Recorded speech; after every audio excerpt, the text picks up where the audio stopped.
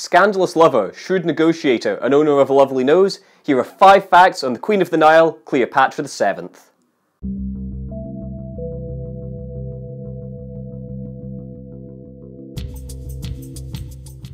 Fact 1. She wasn't just a pretty face. Cleopatra's beauty has been admired and debated for centuries after her death, but this was not her only defining feature. She was fluent in her native Greek, Egyptian, and as many as seven other languages, which could often mean she could converse with diplomats without a translator. She also possessed knowledge of mathematics, physics, and philosophy. I mean, she's got me there. I'm not even a pretty face. Fact 2. She wasn't Egyptian.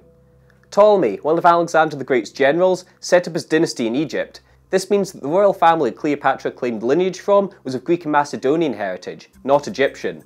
Although she was not ethnically Egyptian, Cleopatra was the first of her line to learn the native tongue and followed many of the country's ancient customs. Fact number 3. The month of August is in celebration of her defeat. After Octavian defeated Antony and Cleopatra in Egypt, he was in position to be the sole ruler of the Roman Republic, renaming himself Augustus and becoming the first emperor of Rome. In honour of this, he renamed the eighth month of the year August in memory of his victories both in Egypt and abroad. The only other man to have a month named after him in this fashion was Julius Caesar. The month is, unsurprisingly, July. Fact 4. She ordered her sister to be murdered. After Caesar's murder, Cleopatra fled back to Alexandria and needed to safeguard herself and her son. To do this, Cleopatra ordered that her sister, Arsinoe, be put to death.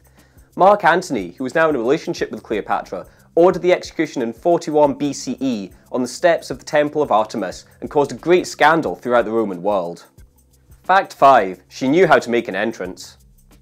When Julius Caesar landed in Egypt, he was said to have been enraged by the murder of his rival Pompey by Cleopatra's brother, Ptolemy VIII. He seized the palace at Alexandria and set about securing the country. Sensing that Caesar would be her best way to return to power, Cleopatra smuggled herself through hostile territory wrapped in a rug. When this was presented to Caesar as a gift, she unrolled and introduced herself. And there you have it, 5 facts on the last of the Egyptian queens, Cleopatra. I hope you've enjoyed this video and remember to give us a like and subscribe below. See you next time.